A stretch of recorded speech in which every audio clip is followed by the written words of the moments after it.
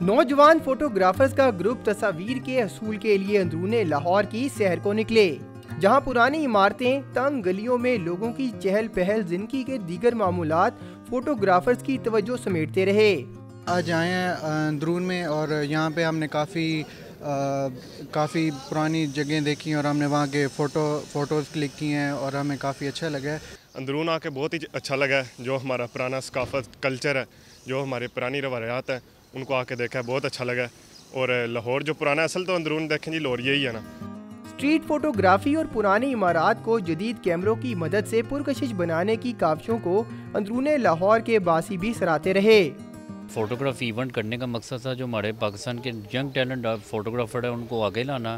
Photographers अपने शौक और मेहनत की बदौलत किसी भी मंजर को खास रंग देने की भरपूर सलाहियत रखते हैं। कैमरामैन आरिफ अहमद के साथ मोहम्मद तैमूर डॉन न्यूज़ लाहौर।